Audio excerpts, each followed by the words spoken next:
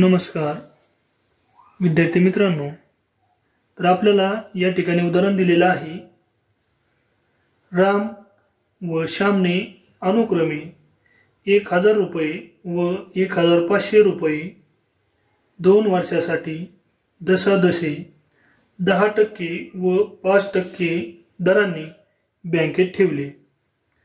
तर त्यांना मिळणाऱ्या व्याजाचे गुणोत्तर किती?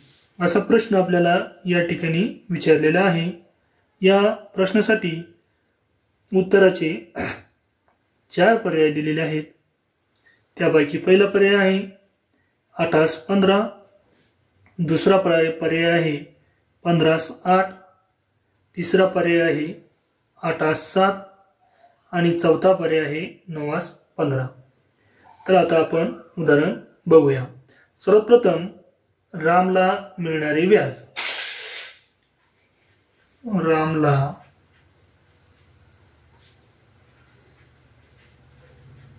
मिळणारे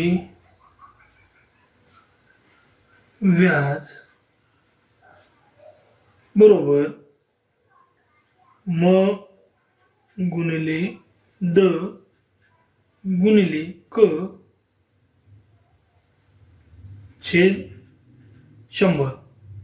तर बघा या ठिकाणी मुद्दल आहे एक हजार रुपये म्हणून एक हजार गुणिले व्याजाचा दर आहे चार टक्के म्हणून चार.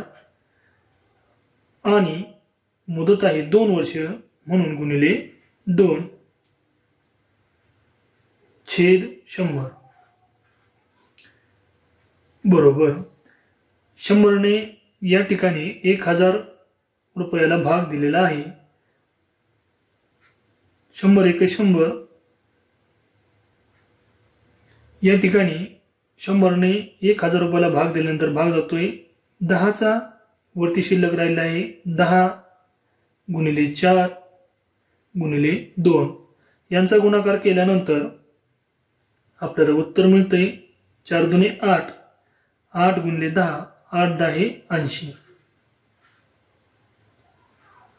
ऐंशी रुपये. आता आपल्याला काढायचे आहे श्यामला मिळणारे व्याज.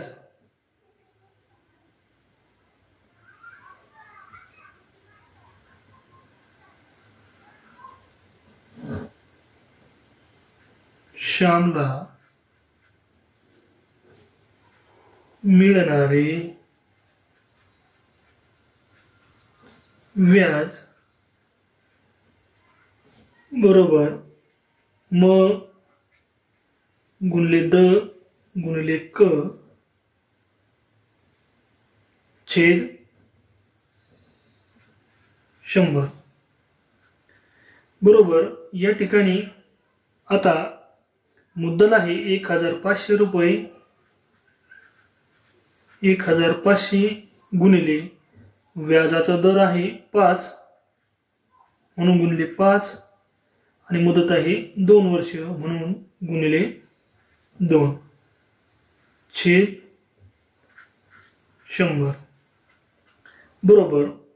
हे शंभरने एक हजार पाचशे रुपयाला भाग दिल्यानंतर इथे शिल्लक राहिले पंधरा. तर आता आपल्याला या ठिकाणी याचा गुणाकार करायचा आहे. दोन गुणिले पाच. बे पंचे दहा. दहा गुणिले पंधरा. याचा गुणाकार येतोय पंधरा दहा एकशे पन्नास रुपये. तर आपल्याला या ठिकाणी रामला मिळणारे व्याज निघालेले आहे ऐंशी रुपये. त्याचप्रमाणे श्यामला मिळणारे व्याज निघालेले आहे एकशे पन्नास रुपये. आपल्याला प्रश्न विचारलेला आहे त्यांना मिळणाऱ्या व्याजाचे गुणोत्तर किती? तर आता आपल्याला गुणोत्तर काढायचे म्हटल्यानंतर रामला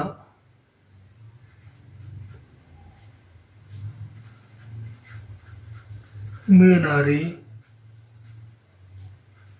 व्याज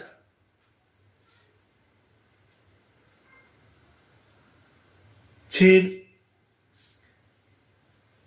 श्यामला मिळणारे व्याज बरोबर. ऐंशी रुपये छेद एकशे पन्नास रुपये. आणि मग या ठिकाणी दहाने जर भाग दिला तर दहावी आठ ऐंशी. आणि इथं जर छेदस्थानी दिला तर भाग जातोय पंधराचा. म्हणजेच आठ छेद पंधरा.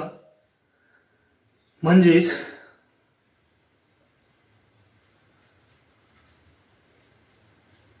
आठ आठ पंधरा हे उत्तर बरोबर आहे. म्हणजे पर्याय क्रमांक एक हे उत्तर या ठिकाणी बरोबर आहे.